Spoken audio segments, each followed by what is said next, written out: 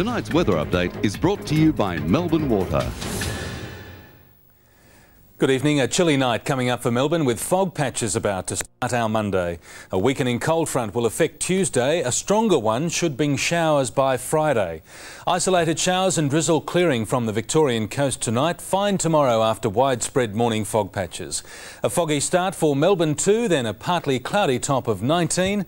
Overnight dropping to a low of 9. Good night.